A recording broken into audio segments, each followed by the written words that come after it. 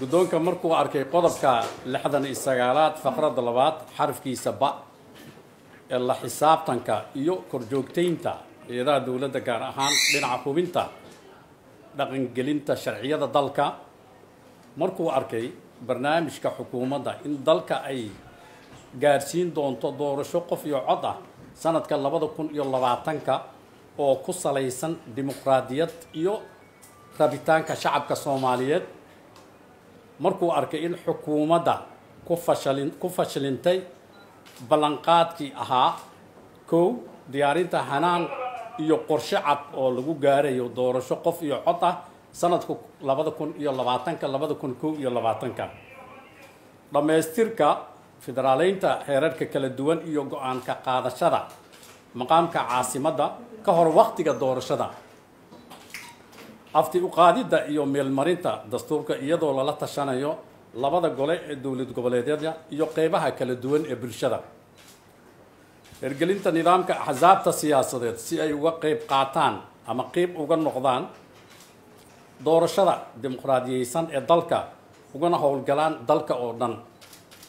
Markay ku fashilmeen diyaarinta ciidamo amniga suga oo heer federaal iyo heer dowlad goboleed ah awaamirtana ka qaata gudiga guddiga madax bannaan ee doorashooyinka qarin qaranka xilliga doorashooyinka lagu jiro sida ku cad qodobka konton iyo afaraad sharciga doorashooyinka qaranka.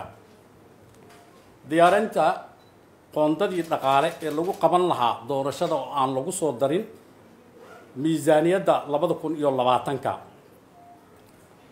Markuu dhegaystay golaha shacabka ee baarlamaanka federaalka warbixintii guddiga madax bannaan doorashooyinka qaranka ay ku caddeeyeen in ay awoodi waayeen soo gudbinta qorshaha qabsoomidda doorashooyinka muddada ku xusan qodobka saddex iyo tobnaad faqradda saddexaad sharciga doorashooyinka qaranka isla markaasna ku dhawaaqeen inaysan ku qaban karin doorashada wakhtigii loogu talagalay.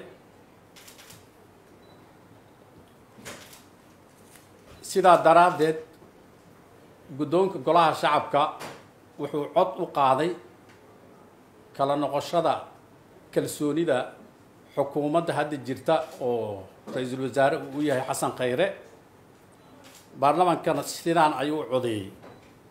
Waxaa ogol u codeeyey boqol iyo toddobaatan xildhibaan. Waxaa diiday siddeed xildhibaan. Wax ka aamusay ma lah sidaa daraaddeed madaxweynaha jamhuuriyadda federaalka soomaaliya sida uu farayo dastuurka kumeel gaarka ah oo in si deg dega u soo magacaaba ra'iisul wasaare iyo xukuumad waddankan gaarsiin karta fulin karta doorasho qof iyo cod ah muddadii loogu talagalay. Aad iyo aad